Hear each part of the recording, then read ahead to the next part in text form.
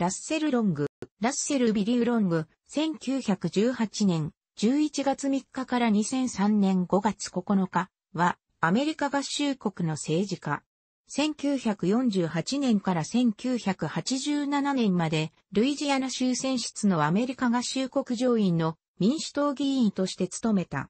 1948年11月に上院議員に選出されたが、当時は両親がそれぞれ上院議員を務めた合衆国史上唯一の人物であった。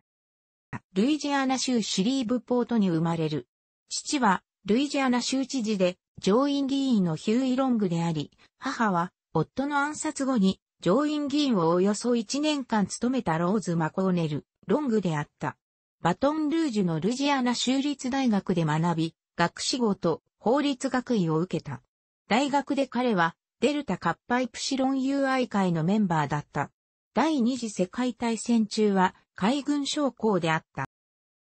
ロングは29歳で上院議員に選出され、合衆国憲法で規定されている上院で務められる年齢の30歳になるまでに半年待ったラッシュホルト、民主党マイナスウエストバージニア州を除いては、おそらくこれまでで最も若い合衆国上院議員である。ロングはかろうじてこの規定をクリアした。1948年11月2日に上院に選出された時、彼は29歳で30歳の誕生日の1日前であった。しかし12月31日までは就任せずに、リンドン・ジョンソンとヒューバート・ハンフリーを含む1948年の上院議員組の他の者よりも数日だけ先に就任した。上院議員に立候補する前に、ロングは1948年に知事職に戻った叔父のアール・ロングの策定弁護士として務めていた。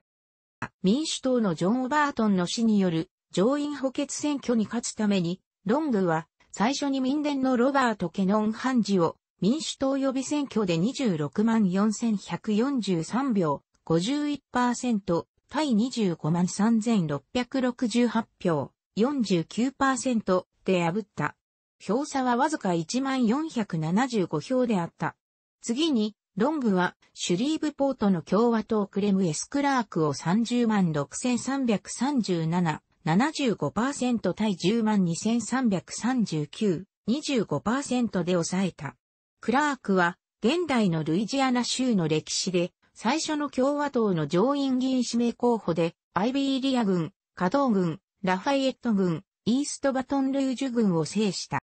クラークは、ルイジアナ州のハリー・トルーマンとストロム、サーモンド両方の候補者名簿に、ロングが立候補することを禁じるよう裁判所に申し立てたが、彼は裁判官の説得に失敗し、両方の候補者名簿でのロングの票はカウントされた。当時副知事に立候補していたビル・ドットによると、人種隔離主義者で保守系の民主党州、中央委員会のプラークミンズ郡のレンダー・ペレス判事は、公式のルイジアナ民主党上院議員指名候補として、クラークを指名する支持者を求めていた。ペレスがその戦略を追い求めたなら、クラークは、サーモンドとデューイの人気を合体させて、議席を得たかもしれない。アール・ロング知事は、ラッセル・ロングがルイジアナ民主党の位置で立候補をすることを確認するため、ペレスに他の重要な事柄で、ペレスと和解したとドットは主張した。1948年の選挙は残り2年の任期のものであったため、ロングは彼の最初の完全な6年の任期のために1950年に再び出馬した。その年、彼は強くない共和党の対立候補で、ニューオーリンズの実業家のチャールズ・ウェスガースに22万907、87.7%対3931、12.3%で勝った。ロングは彼の会員の同僚、アーカンソー州選出の伝説のウィルバー・ミルズとよく似て、彼の税法の知識で有名だった。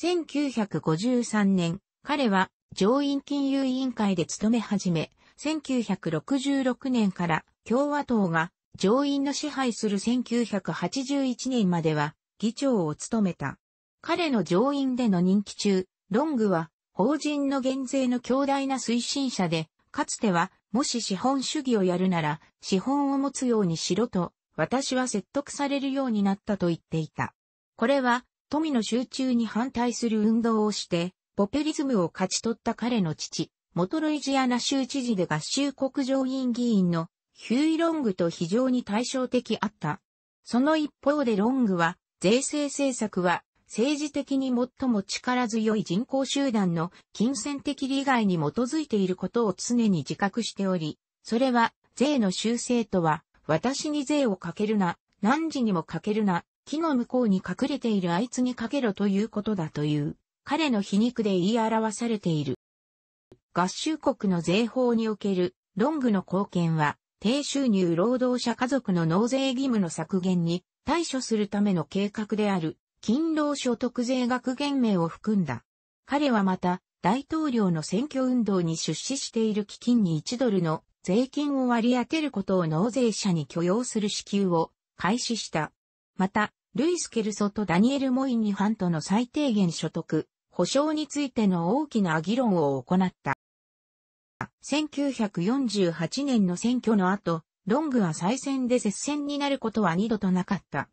1962年、彼は民主党予備選挙で40万7162票、80.2%、対10万843票、19.8%の差で弁護士のフィルモン A、フィル・セントアマントを破った。次に彼は、シュリーブポートの弁護士で会計士の共和党の対立候補、テイラー・ウォハーンを318,838票、75.6%、対103,066票、24.4%で破った。セントアマントもオハーンも、右翼的な見地からロングに挑戦した。ロングは国の公立学校での人種分離撤廃を命じたブラウン対教育委員会裁判の判決を非難するサザンマニフェストに署名した。その当時のディープサウス選出の上院議員の大部分と同様にロングは1964年公民権法を含む公民権の立法に対して反対票を投じ続けた。1964年、ロングはルイジアナ州で公認候補のジョンソンとハンフリーを強く支持するテレビ演説を行うことで社会通念に逆らい、共和党のバリー・ゴールドウォーターとウィリアム・ミラーの選挙に州で敗北した。しかしこの行為はロングの将来に何の衝撃も与えず、1968年、1974年、1980年と共和党は挑戦を辞退した。民主党の上院議員連は1965年に彼を院内総務に任命したが、彼は激しく飲酒をするようになり、上院の議事場で酔っ払っているのをしばしば見られるようになった。ロングはこの時代に見られた多くの公共当局での飲酒問題の一例であった。彼は1969年にこのリーダーシップの地位を失い、マサチューセッツ州選出のエドワード・ケネディに引き継がれた。後に彼は飲酒を止め、同僚たちの間の評判は元に戻った。彼は最初にアレン・エレンダー、次に同じシュリーブポート生まれのベネット・ジョンストン・ジュニアといった彼のルイジアナ州の上院議員の同僚たち特に良い関係を持った。1968年、ロングに対する共和党候補者と目されていた、イーストフェリシアナ郡の地区検事のリチャード・キルボーンが出馬を取り下げたため、同年ロングは対抗話に出馬した。1974年、ロングは民主党予備選挙において、ジェファーソン郡、ウェストエゴ出身の州保健長官シャーマン、エーバーナードを52万606票、74.7%、対13万1540票、18.9%で破った。バトンルージュ出身の宗教和党議長、ジェームズ・エイチ・ボイスは、議会機関紙州法に、ルイジアナ宗教和党は圧倒的に少数派で、地方選挙に出馬する十分な候補を見つけられない、という21世紀の初めまで党を苦しめた問題を語った。ボイスは、共和党がロングに挑戦する適任の候補者を見つけるのは難しいとした。彼は、生贄の子羊的な候補者を見つけたり、出馬の動きを体験させることを止めさせ、候補者の感情は傷ついている。我々は良い候補者を見つけて彼に出資しなければならないと言った。1974年秋、ボイスは、ルイジアナ州共和党は、ウォーターゲート事件によって傷ついていない。なぜなら彼らには、失うものは、ほとんどないからだ言った。しかしウォーターゲートは、南部の共和党のチャンスの喪失を引き起こした。1980年、ロングは、バトンルージュ出身の州会議員、ルイス・ジェンキンスを48万4770票、57.6%、第32万5922票、38.8%で破った。ジェンキンスは同年の候補者が乱立する予備選では民主党員であったが、彼は後に共和党となり1996年にもう一度上院に出馬し、わずか4000票ほどの差で負けた。1980年の選挙運動では、ロングの友人で同僚の1976年に共和党副大統領指名候補になり1996年には大統領指名候補となるカンザス州共和党のボブ・ドールがジェンキンスの対抗に出馬したロングのテレビ CM を削除し、ジェンキンスは1978年にもジョンストンに挑戦し負けていた。ドールとロングは同年それぞれ再選に出馬した。1980年の予備選はロングの名前がリストに上った最後の年であった。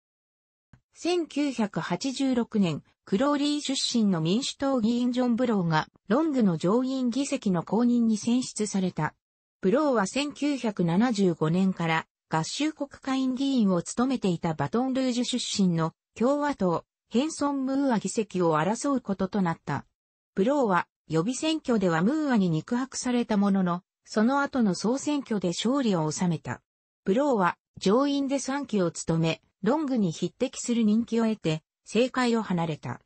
しかしブローは、ロングと異なり、後継者を確定しなかった。2004年には、ニューオーリンズ郊外出身のデイビッド・ビッター議員の勝利により、この上院議席は共和党のものとなった。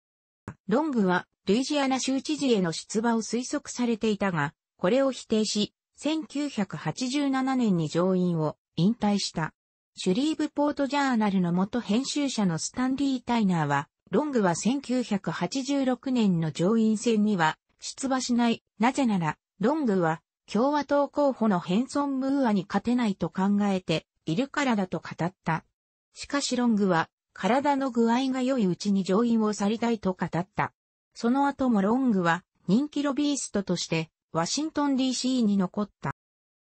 2003年5月、心臓病で死去。当時、ロングは1948年以前に上院議員であった者のうち、最後の存命人物であった。バトンルージュで行われた葬儀は、かつての同僚ベネット・ジョンストンの感動な追悼の字により、人々の記憶に残っている。1939年6月に、キャサリン・メイ・ハッティと結婚し、リタ・キャサリンとパメラの二人の娘を設けた。後に離婚し、ノースカロライナ州出身の上院の職員のカロリン・バイソンと再婚した。楽しくご覧になりましたら、購読と良いです。クリックしてください。